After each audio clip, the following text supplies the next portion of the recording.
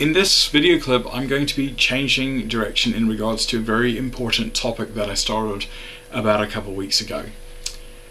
For the last couple weeks, I have been doing a series on gold and silver. I've been calling it Why Gold and Silver is So Safe.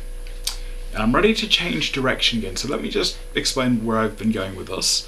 In the first two clips, I just wanted to get people's attention. I wanted to explain to people that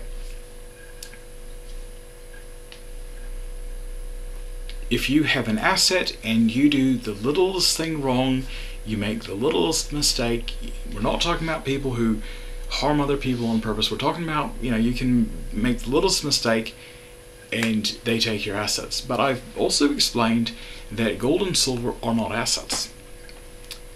And if you're new to this, I suggest you watch the first two clips because this is not going to make any sense. The first two clips are very, very important. But if you have watched it, you will understand what I'm talking about.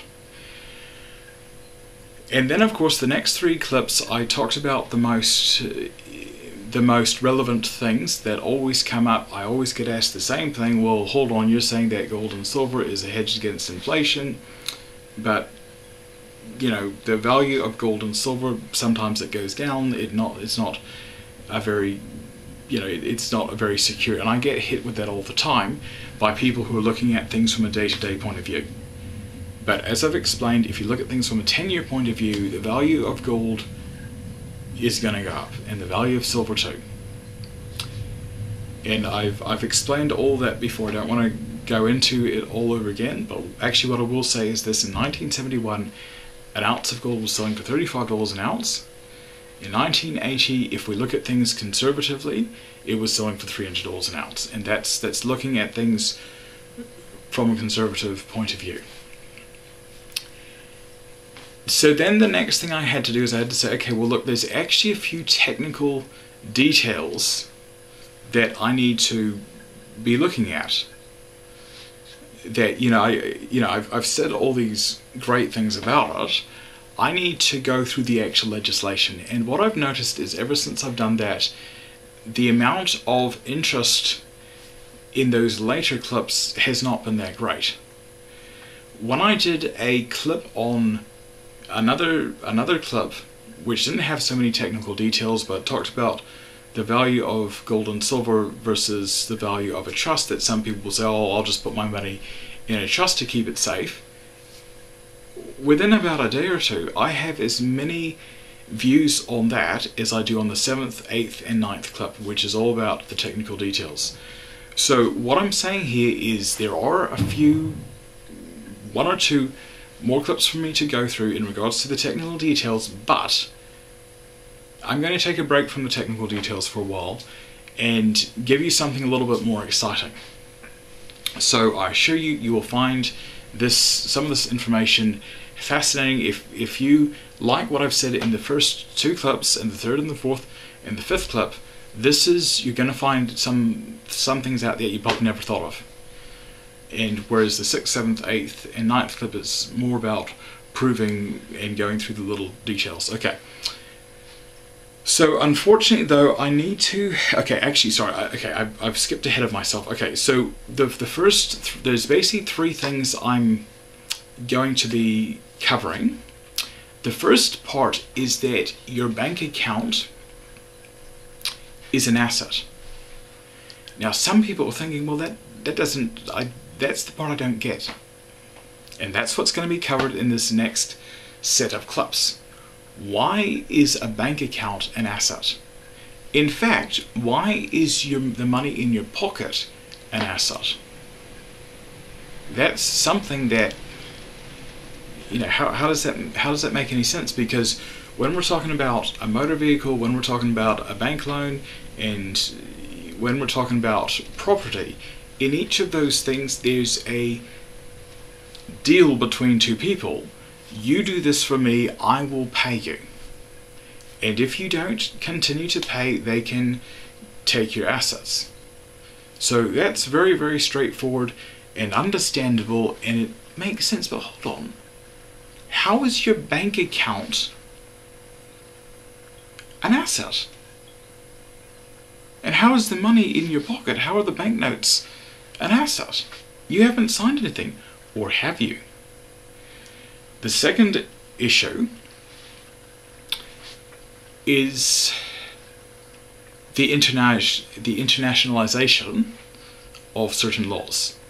So, just a couple minutes ago, when I said I, I, but we need to get started on this, I was actually about to to talk about a particular point which proves that American legislation and New Zealand legislation, in some ways, are almost identical. So it's the internationalization of how all these things fit in. And the third thing, and the most important part, is about this thing here will, when you understand it, you'll be able to see how it connects to just about everything else that I've, I've talked about here. Which also explains the internationalization part of it. So what's going to be covered in this with the last point that I was referring to is let's take the roads for instance. You want to use the roads and the government's going to pay for the roads. Okay.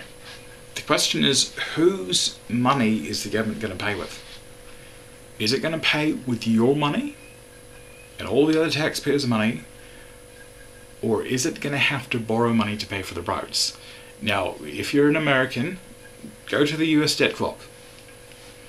How much do you owe? Now, this is just Washington, D.C. That's what the US means. It means just Washington, D.C. There's the United States of America and there's the US. Okay? How much does just the US Washington, D.C. owe? $20 trillion. How much does New Zealand owe? It easily owes uh, more than 100 billion. Now that's if we're looking at gross debt. I'm not. I'm not going to get into the technical details of that, but if, if we're looking at the total amount New Zealand owes, we easily owe more than 100 billion. So when they say the government's going to pay for the roads, hold on a minute. Are you sure the government's going to be paying for those roads? Yes, the government's going to be paying for those roads, but it's not going to be with your money or the government's money. The government is borrowing money and it happens through the bondholder. And so what happens is the bondholder, the only thing they're interested in is the same thing that the judge is interested. You pay up. So if they're lending money to the government to build roads, what are they interested? You pay up. That's what they want the government to do. They want the government to pay up. And the so you go and you say, I want the government to do this, I want the government to that. The government doesn't have the money. The government is borrowing money for that.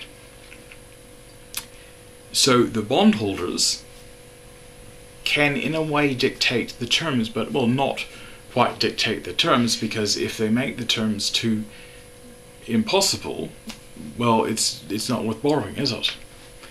So that's the third point, which will all be explained. All these three things will come together. So let's get started. Okay, so the first thing we want to do is we want to start off with the internationalization of certain laws. Okay, so if we look at UCC 9203 for now, that's American legislation, and it will be proved that it's definitely applicable to America. It could also be applicable to other nations. UCC 9203, attachment and enforceability of security interests and if we look at, it says a lot of things, but if we look at part one, it says value has been given. In number two, the debtor has rights in the collateral or the power to transfer rights in the collateral to a secured party.